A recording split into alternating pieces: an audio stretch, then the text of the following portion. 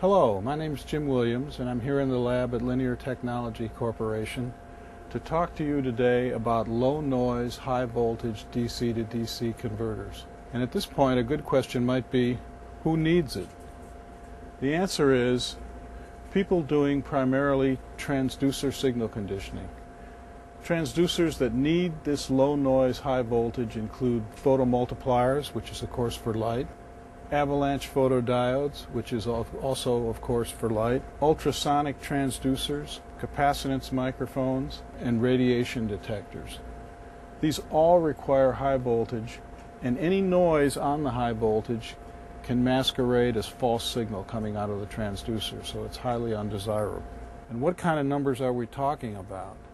For low noise, typically you're going to want less than a millivolt in the high voltage output at 100 megahertz bandwidth and anywhere from 100 to 1000 volts DC output. So this is high voltage and typically you're coming up from a low voltage supply, 5 or 10 volts, hence DC to DC converter. The saving grace is the loads in these transducers are light. They run from units of microamps to an absolute maximum of about 5 milliamps. This low output current permits certain freedoms in the design of the converter and I want to go over those in a cursory kind of way right now. One way to do the converter is to build a resonant sine wave producing power stage which drives an output stage, runs through a two section filter. I'm going to come back to this in a minute, and feeds back to control the current through the sine wave resonant converter. That's one way to do it. You'll notice I've used a resistor here in the filter network instead of an inductor. Why? The fundamental reason is I can get away with a resistor because at 100 to 1000 volts out, a couple of volts drop is no big deal. And the resistor has much lower shunt capacitance across it than an inductor would. It makes a much better filter. And you can get away with that because the load currents are so small. One potential problem with this design is you're burning power in this linear control element. You could go to something like an LT1534, which is an edge time controlled switching regulator, which maintains low harmonic content in switch mode delivery drive to here.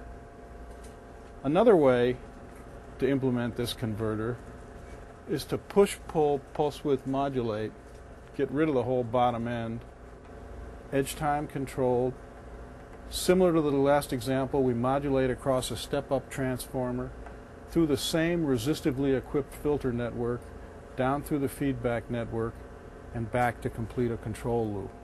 What kind of performance do we get out of something like this? Let's go to the lab bench and take a look. Okay, I'm here at the lab bench.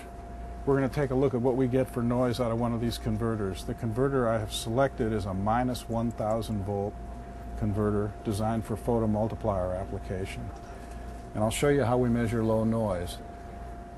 We go through a 40 dB low noise 200 megahertz preamp into the scope vertical and display on the tube.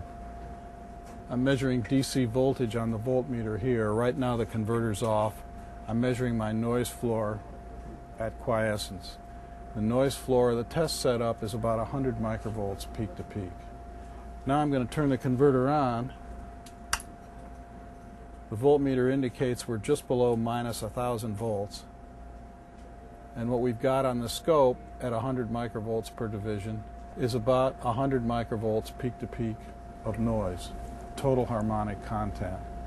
What that means is I'm getting about one part in 10 million noise on the output of my 1000 volt converter. That's pretty low noise. We've covered a lot of ground today fairly quickly.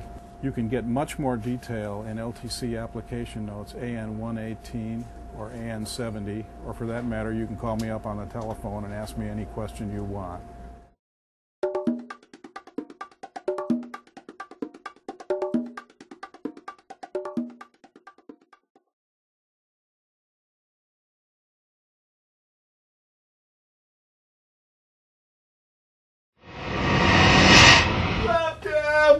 Left him!